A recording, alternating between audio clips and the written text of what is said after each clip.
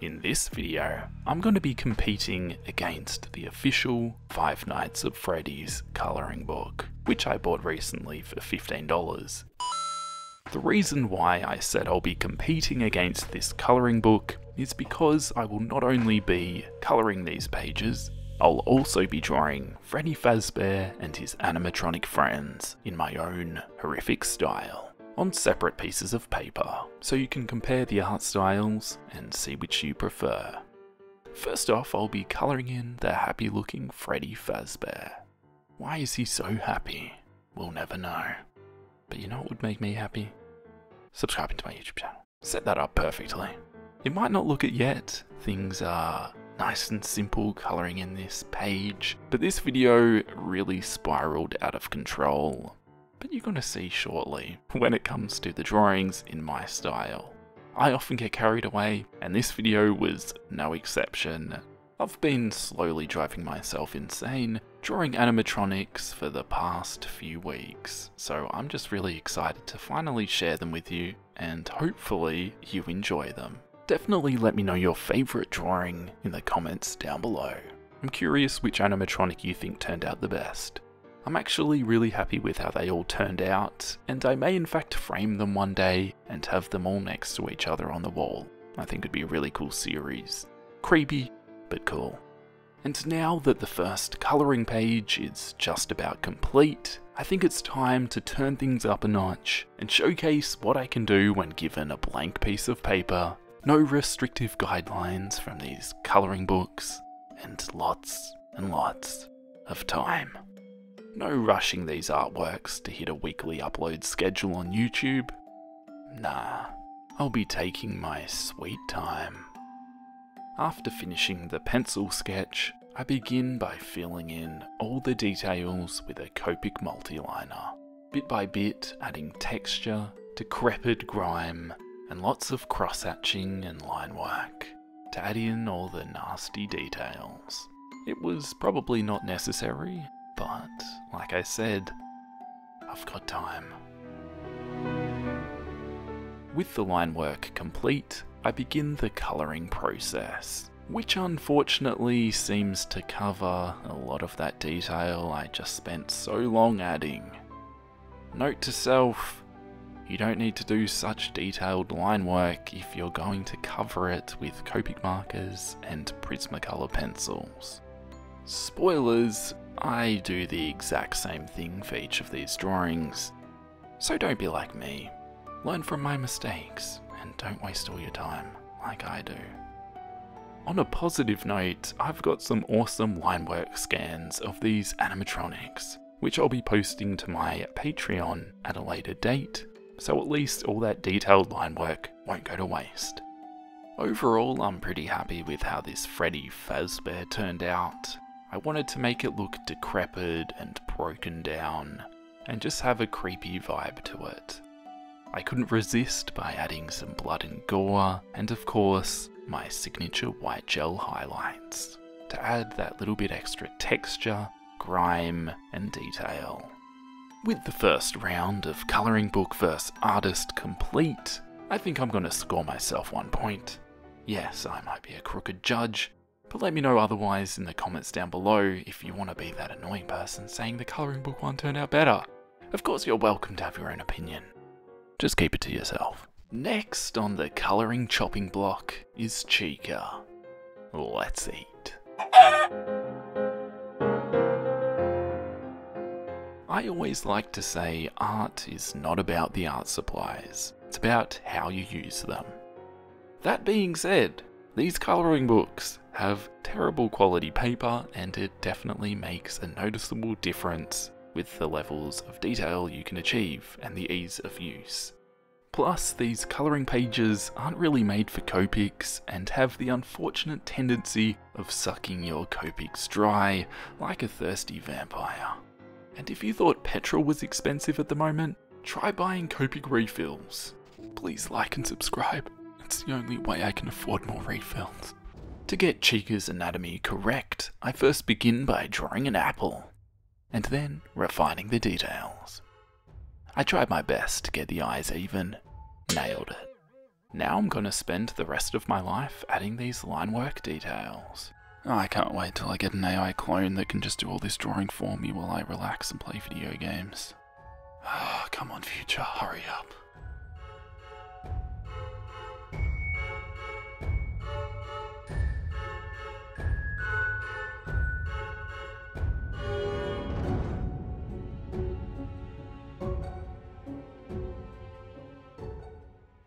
Believe it or not, the line work is finally done, so now I'm going to add some colour with my Copic markers.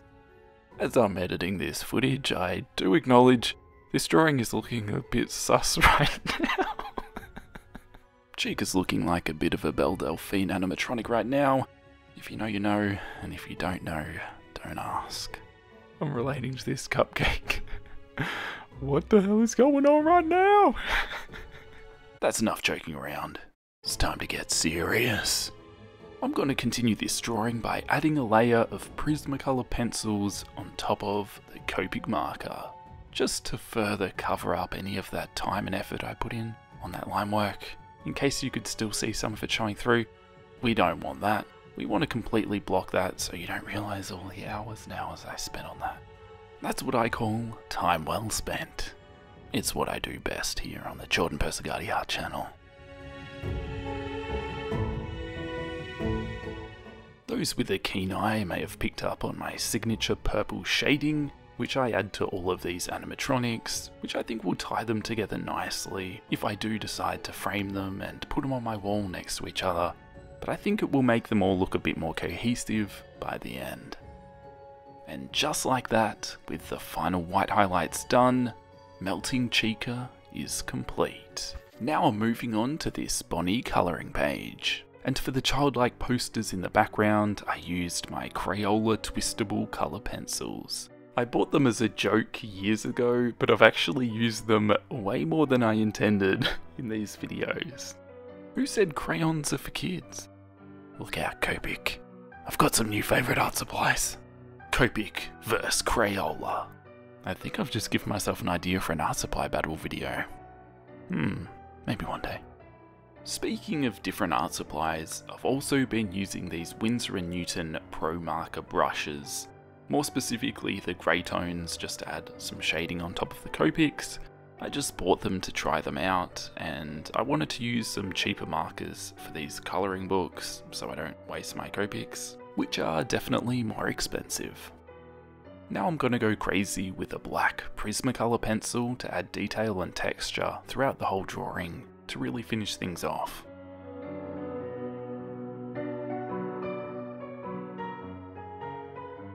You didn't think I was gonna forget the blood, did you? Bonnie has been shredding so hard on his electric guitar, his fingers are bleeding. And I can relate to that because that's pretty much me after finishing all the drawings in this damn video. Yeah, I'm still complaining about it. Alright, I'll shut up and keep drawing. I'm nearly done with the blood and gore, and finally some white highlights added, this colouring page is complete. And now it's time to draw Bonnie in my art style. And I've got some fun ideas. Some people might say that I drew the guitar with broken strings to avoid having to draw so many straight lines, and also the strings weren't lined up properly with the neck of the guitar. But let's just ignore that. That's wrong. Everything I do is always 100% intentional. And if you disagree, like I said before, you're welcome to have your own opinion. Just keep it to yourself still. I'm just joking around. I make a lot of mistakes in my artworks, and I generally notice them in the editing stage. At the end of the day, I could spend more time on the sketching phase and make sure the anatomy is all correct and everything lines up properly, but it just comes down to time. I already spend a long time on these, and for me, I don't want to get too bogged down by chasing perfection. I know I'm going to improve over the years as I keep drawing, and I'll keep working on my anatomy. I approach art like a marathon, not a sprint. I don't expect my current drawings to be my final form. I'm going to improve over the years, so if I'm enjoying the process and having fun with these drawings, that's all that matters. Also, I still think this drawing turned out pretty sick. I decided to have the guitar bursting out of Bonnie's stomach, as if he was impaled on it, yet still shredding the non existent strings till death. I also added neon pink goo to mix it up from the usual blood red gore for a futuristic retro vibe. Wait, what? Don't think about that contradiction too hard. We've got to move on. For the last colouring page, I couldn't forget about the fan favourite, Foxy. He's on the run, so I better get this done.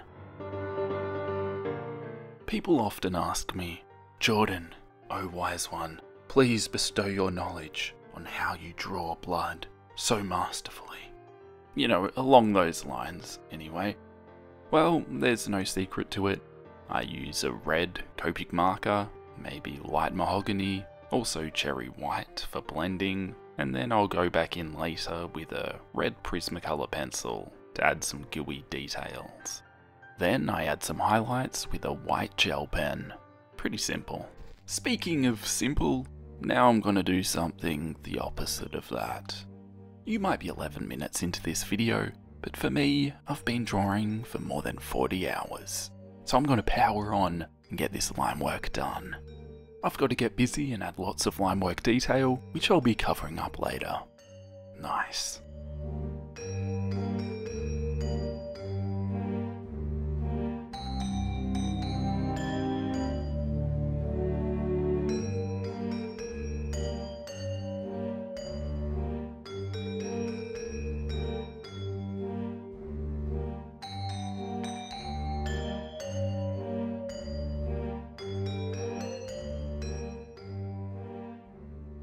I liked how the neon pink goo turned out in the last Bonnie drawing, so I wanted to do something similar for this Foxy one.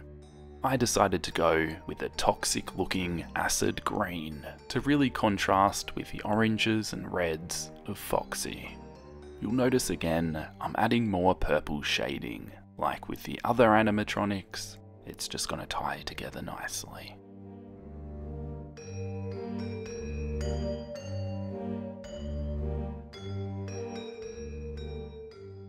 I went very heavy with white highlights for all of these animatronics. I just loved the texture it gave, and I thought it fit nicely. This was a fun series of drawings to make, and I think they're to look awesome, framed and in a row on the wall. But let me know what you think.